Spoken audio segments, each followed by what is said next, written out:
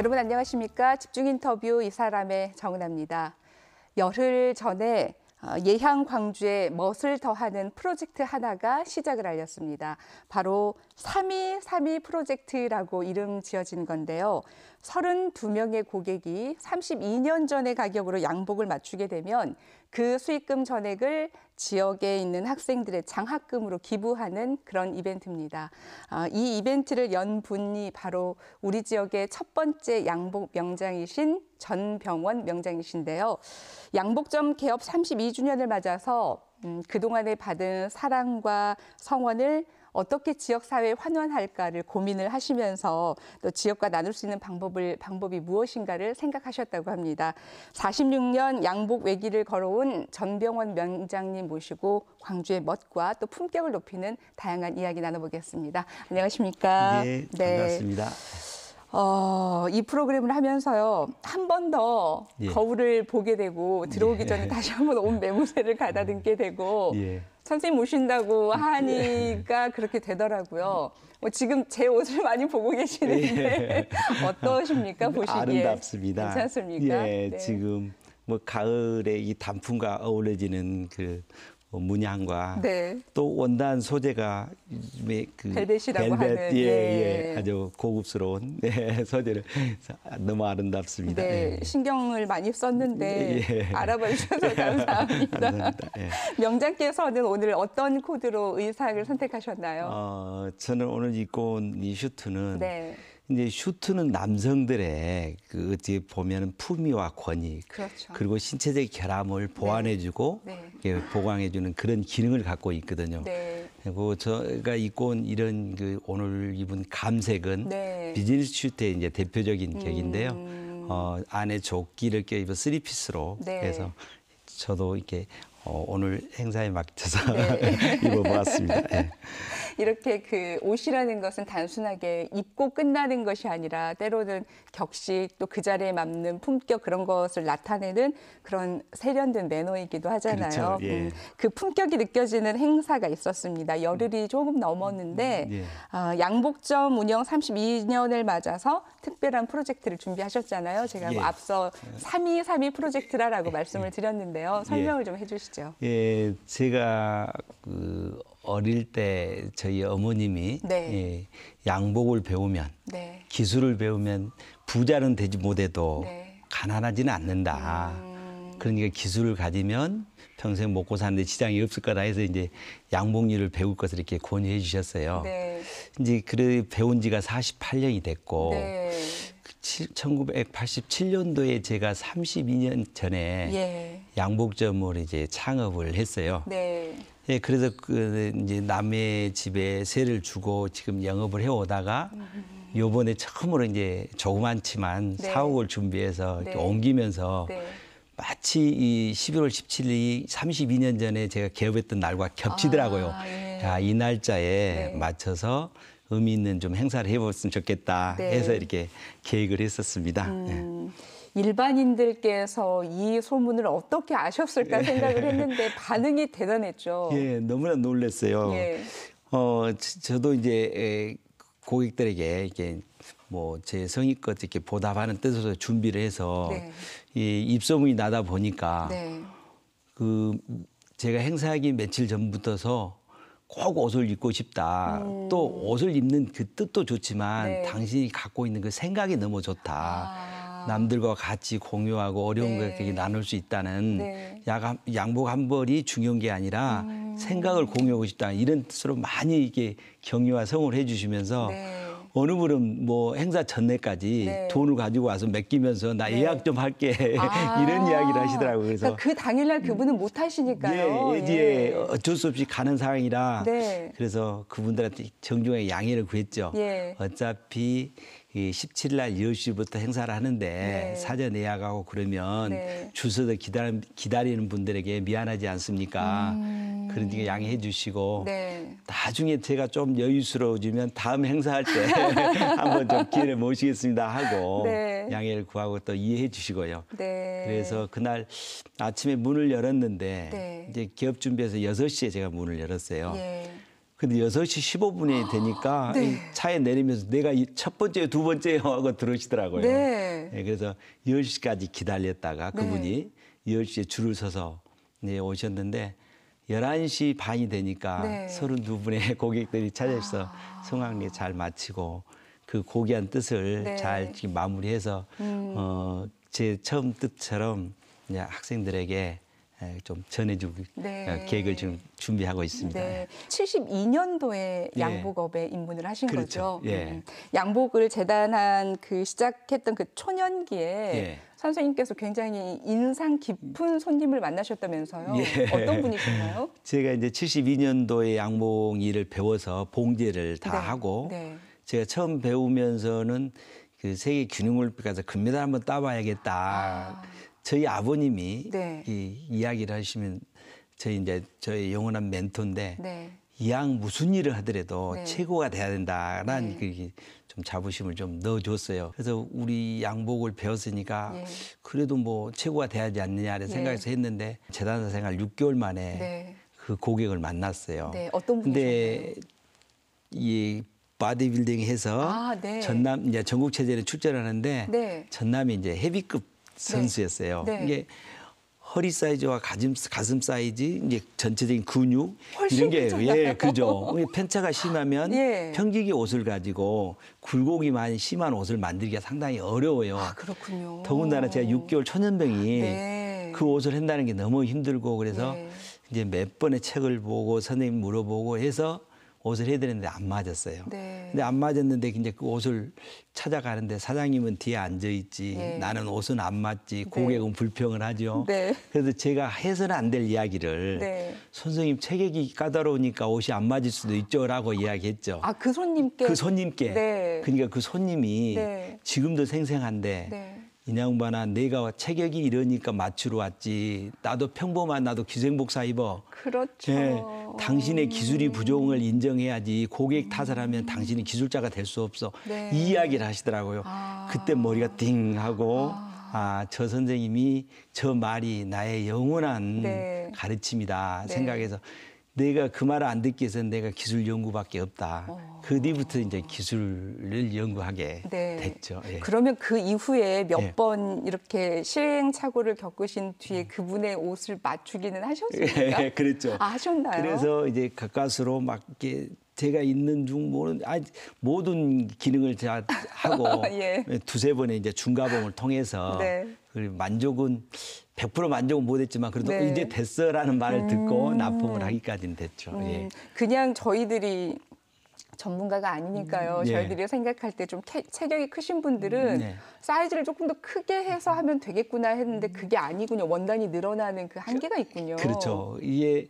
지금은 이제 이 양복지나 이제 복지가 좀 스판에서 늘어나는 네. 기가 있지만 우리 남성분 품위와 이제 권위를 느끼게 해주기 위해서는 원단에 이제 수축이 없어요. 그래서 어 그리고 이제 평직을 가지고 둥그렇게 에, 옷이 체격을 맞춘다는 게 쉬운 일은 아니거든요. 네. 그래서 예. 그래서 이제 그- 그때 실수했던 게 저 오늘의 명장이 있기까지 큰 도움이 된 것 같아요. 큰 가르침이 예, 그렇죠. 가르침을 예. 이제 주신 손님이 되시기도 했고요. 예.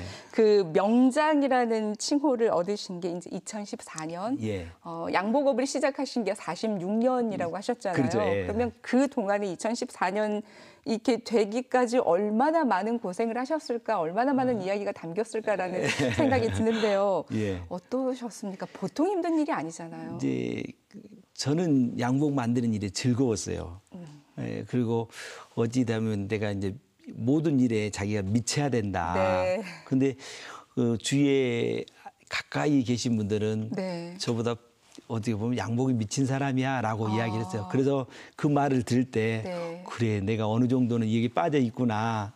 그 말에 대해서는 좋은 평가겠지. 네. 이제 그런 생각을 좀 가져봤어요. 네. 근데 이제 양복 만들면서 어 제가 기술이 부족한 거를 느꼈고요. 그래서 그걸 극복하기 위해서 저는 선천적으로는 네. 타고난 기술은 아닌 것 같아요. 음. 저는 끈기와 용기를 갖고 네. 끝까지 이렇게 탐구해서 네. 그걸 결과 내 걸 만드는 이제 이런 작업들을 네. 통해서 제가 숙련 기술을 이렇게 음. 예, 유지해 왔던 것 같아요. 그래서 어, 제가 이제 기술 경진대 같은데 네. 예, 이런 데를 많이 참가를 했어요. 예. 왜냐하면 혼자 자기가 자기 기술에 대해서 자만할 수 있잖아요. 그렇죠. 내 키가 어느 정도 되는가, 내 기술이 어느 위치에 와 있는가 테스트하기 위해서는 싶은. 음, 내가 자꾸 콘테스트 나가서 네. 작품을 처음에는 네. 거기 나가기 전에 자기가 제일 똑똑한지 알았어요. 아, 예. 내 이제 준비해서 갖고 갈 때는 용기 네. 백배여서 나가죠. 네. 작품을 비교하면서 얼마나 네. 창피한지 몰라요. 내 수준이 이거밖에 안 되구나. 네. 돌아와서 부족한 걸 채우고 채우고 음. 이제 저희와 같이 기술을 그 출품했던 친구들은 네. 서너 번 만에 이제 큰 대상을 받고 그러는데 네. 저는 재단대에 가서 예. 이제 한국의 재단사들이 경쟁하는 재단대에 가서 네. 6년 만에 대상을 받았어요. 그리고 이제 봉제하는 기술은 10년 만에 대상을 네. 받았죠. 네. 그러니까 다른 친구들이 놀려요. 뭐라고 하냐면 왜 그런 걸 한번 한 번에 못했어? 나는 1년, 2년만 했는데. 네. 그래서 당신들이 기술이 좋고 네. 나는 실력이 없어서 그래. 근데 지금 와서 생각해 보고 그분들이 지금 나중에 나한테 이렇게 명장 도전하는 걸 보면서 네. 당신이 부럽다라는 생각을 가져요. 어떤 의미에서 부럽다고 하시나요? 뭐냐면 제가 기술이 한두 번 만에 이게 큰 상을 받았으면 네. 나태해졌을 거다 이거죠. 아. 근데 제가 기술을, 기술이 부족한 만큼 네. 테스트하고 탁고 숙련할 수 있는 그런 기회를 음. 나에게는 시련을 통해서 계속 준 것 같아요. 음. 그러니까 게으르지 않고 6년, 10년을 통해서 네. 계속 내 기술에 대해서 연마할 수 있는 음. 그런 계기가 된 것 같아요. 이제 지나고 보면 그 기간이 네. 저를 오늘 이렇게 네. 어느 정도는 그래도 기술자로서의 자질을 갖출 수 있는 음, 그런 계기가 되고 음. 과정이었지 않냐. 그래서 그 과정이 나 저한테는 굉장히 소중하고 음. 그렇습니다. 그 수많은 과정을 거쳐서 그 수년의 시간이 지난 뒤에 명장이란 타이틀을 받으셨는데 지금 양복 에 달려 있는 그 배지가 바로 예. 그 명장 배지인 거죠. 그렇죠. 이게 어. 이제 대한민국 국가가 인정하는 네. 예, 기능인들한테 주는 최고의 영예죠. 이제 이 우리 기능인들의 이제 자격을 보면요. 네. 처음 배워서 기능사란 자격이 있고요. 네. 그 다음에 산업기사, 네. 그 다음에 기사, 네. 그 다음에 그 기능장, 네. 그 다음에는 그 기능 한국인, 그 다음에 우수 숙련 기능인, 그리고 그 위에 이제 대한민국 명장이라는 칭호가 주어지죠. 음. 그래서 최고의 기능을 가진 숙련 기능인한테 네. 국가가 인정해서 네. 주는 게 대한민국 명장입니다. 네. 그때 이후로 계속 항상 늘 이렇게 왼쪽 가슴에 품고 다니시나요? 그렇죠. 자랑스럽기도 하고. 그렇죠. 네, 그리고 음, 그런 이제 많은 시행착오들 덕분이기도 하고요. 그렇죠. 또 예. 그런 자극들 때문에 이런 전시회도 하신 것 같아요. 예. 93년도에 예. 양복 변천사 100년 전이라는 그런 전시회를 하셨는데 예. 이제 그 광주에서만 하신 게 아니라 서울이나 이제 부산 등지에서도 그렇죠. 하셨더라고요. 예. 이거 다 사비 털어서 하신 거예요. 그렇습니다. 왜 이제 그 행사를 하게 됐냐면 네. 제가 이제 중학교를 졸업하고 네. 양복 기술을 배웠어요. 네. 그래서 이제 방송통신고등학교를 졸업하고 음. 대학에 이제 방송통신대학을 이제 다녔어요. 그때 대학에서 공부를 하면서 인문사회학 이쪽을 보니까 네. 역사적인 고증이 나오더라고요. 네. 근데 항상 저는 의문을 품었어요. 예. 양복의 변천은 과거에는 어땠을까? 어떻게 흘러왔는데 지금 현재는 어떻게 되고 미래는 어떻게 갈 건가? 네. 이런 걸 좀 알아보고 싶은 궁금증이 할수록 예, 들었어요. 그래서 네. 그 그때 공부했던 그런 학술적인 분석을 통해서 예. 예전에 이제 그 신문 같은 거 자료들 막 뒤졌어요. 그래서 네. 서재필 박사 독립신문을 보면서 그 서재필 박사의 키가 어느 정도 됐고 음. 네. 이 사진은 그의 몇 분의 몇 축소가 됐는가. 네. 그래서 입고 있는 그 치수를 곱하기 매수로 아. 하면 실제 그때 옷에 유행했던 디테일이 고증할 수 있잖아요. 예. 이런 것들을 매년을 10년 단위로 쭉 해서 네. 그것을 옷을 재현을 했어요. 와.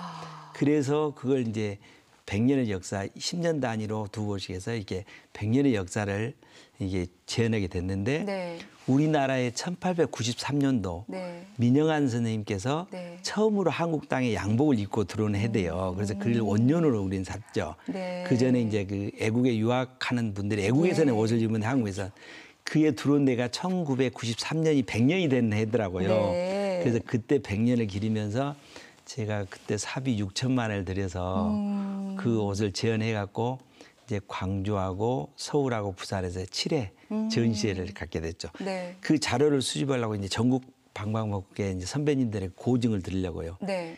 이제 오래된 여- 연령을 가진 분들은 그 전 저보다 훨씬 더 많은 역사를 알고 계시겠잖아요. 그렇죠. 이 전국에 그분들을 찾아다니면서 네. 예전에 복귀는 어떻게 했고 디테일이 없고 일은 어떻게 했어요. 그래서 찾아갈 때마다 네. 그 선배님들이 저희 이제 가게 그 1930년대 사용했던 원단을 네. 한 감을 주시는 선배님도 계셨고요.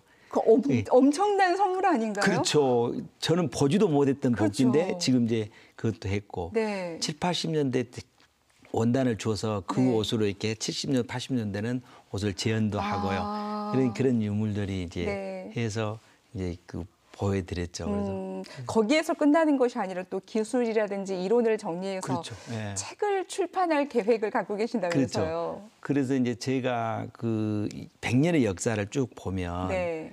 이제 디테일을 이렇게 좀 보면 우리가 요즘에 유행하고 있는 피트한 스타일은 한 60년대 만부 스타일이라고 해서 네. 이렇게 유행을 했더라고요. 네. 그리고 앞으로 이- 요즘 숙녀복에서 이렇게 바지 밑 단이 이렇게 넓은 판타롱이 유행되잖아요. 음. 네, 네. 이때 이 남성복 쪽에서 70년대에 네. 나팔 바지라게 힙 바지라 해서 이렇게 유행했던 거예요. 네. 이제 서서히 2, 3년 후면 네. 남성복, 여성복 다 이렇게 어. 나팔 바지가 유행되고 예. 유, 이 지금에는 몸에 딱 달라붙은 유행이 음. 나팔 바지 통하면서 50 좀 이제 약간 여유 넉넉한 음. 그런 옷처럼 이렇게 좀 변해가고 이런 것들을 다 할 수 있었죠. 그래서 네. 이런 것들을 한데 묶어서 역사적으로 이렇게 좀 어, 고증해서 네. 그걸 기술에 대해서 책으로 해서 음. 후학들이 볼 수 있게끔 남겼으면 좋고 기술 서적도 네. 제가 그동안에 네, 가, 네 가지의 책을 썼어요. 예.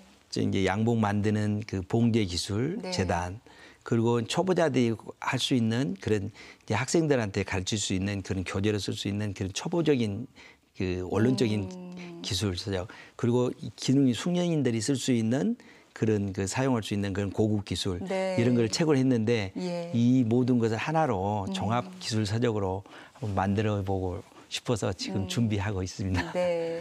그 양복업을 시작하셨던 그때부터 지금까지의 그 시간을 짧은 시간 안에 다 말씀을 나누기가 쉽지가 않은데요. 그렇죠. 그래도 네. 이제 그 사이사이에 많은 고생을 하셨고 시행착오 겪으셨고 예. 또 어, 같은 길을 걸어가는 후배들을 위해서 예. 이제 예. 서적도 출판할 계획을 갖고 계시는데 예. 이거 이외에 앞으로 나는 이거 꼭 해봐야겠다라고 생각하시는 계획 있다면요? 예, 제가 기술 배우러 다닐 때그 네. 은혜를 많이 입었어요, 사실은. 네.